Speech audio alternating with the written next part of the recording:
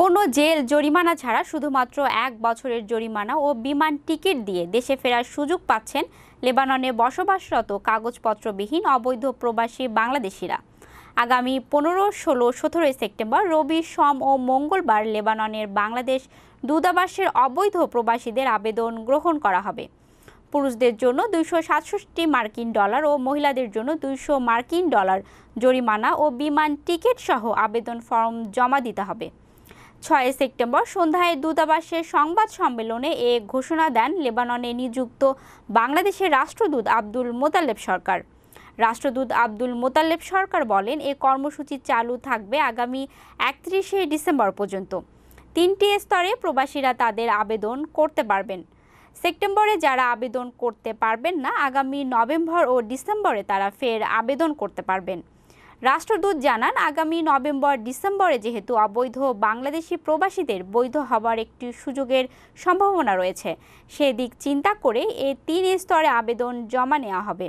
যাতে বৈধ হওয়ার সুযোগে যারা বৈধ হতে পারবেন না, তারাও যেন দেশে ফেরার সুযোগটি গ্রহণ করতে পারেন। তিনি বলেন, লেবাননে উচ্চ পর্যায়ে দীর্ঘদিন আলোচনার মাধ্যমে দূতাবাসের এই সুযোগ পেতে সক্ষম হয়েছে। যার ফলে প্রবাসীরা কোনো রকম জেল ও বড় অঙ্কের জরিমানা ছাড়াই দেশে ফেরতের সুযোগ পাচ্ছেন। তবে যাদের নামে চুরি, মাদক ও ফৌজদারি মামলা বা লেবাননের কোর্টে গ্রেফতারি পরোয়ানা রয়েছে, তারা এই কর্মসূচির আওতায় পড়বে না। তবে যাদের বিরুদ্ধে এসব অভিযোগ রয়েছে, তারা যদি দেশে ফেরত যেতে দূতাবাসের সাহায্য কামনা করেন, হাতে নেওয়া কর্মসূচি শেষ হলে দূতাবাসের পক্ষ থেকে তাদের অবশ্যই সহযোগিতা দেওয়া হবে।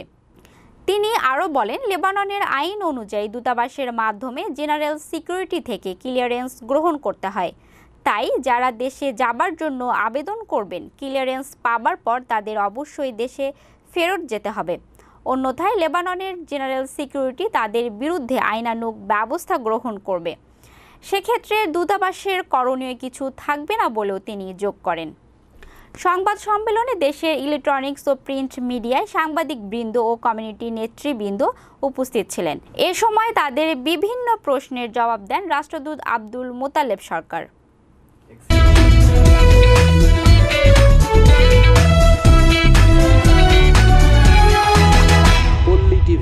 দেশ ও জনতার কথা বলে।